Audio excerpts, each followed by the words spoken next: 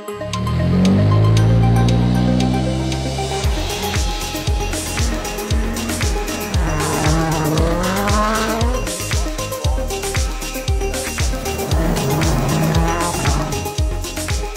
it was okay in the morning, a bit struggling in the in the slow corners and uh, on the we changed the car a bit and it was better. In the morning it was absolutely perfect. Really happy with the car, uh, how it, the car was behaving. There was uh, only one scary moment in the first days when I hit the bump and the front lifted like this. I was a bit scared about that. But since that, uh, no problem.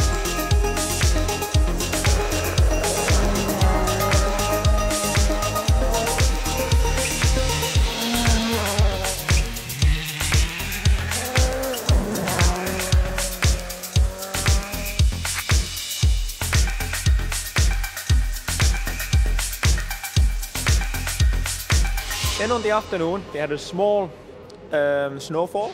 I didn't get all the stages going so smoothly, so I lost a bit of time. And then Diri was flying same time, so he came and uh, took the lead, but still I'm satisfied.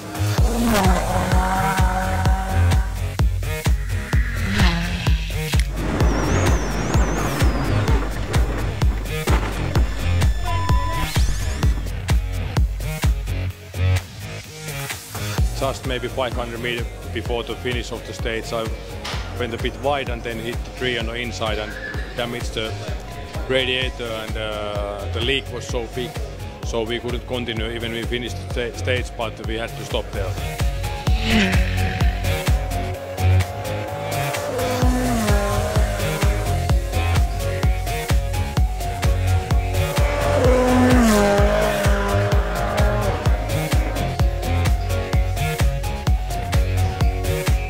Really, really good, and thanks for the guys and team. Car was working okay, no problem at all, and uh, and as we saw Jari-Matti's pace, that the car is really good. I'm feeling good and just stay relaxed and I will do my best and see.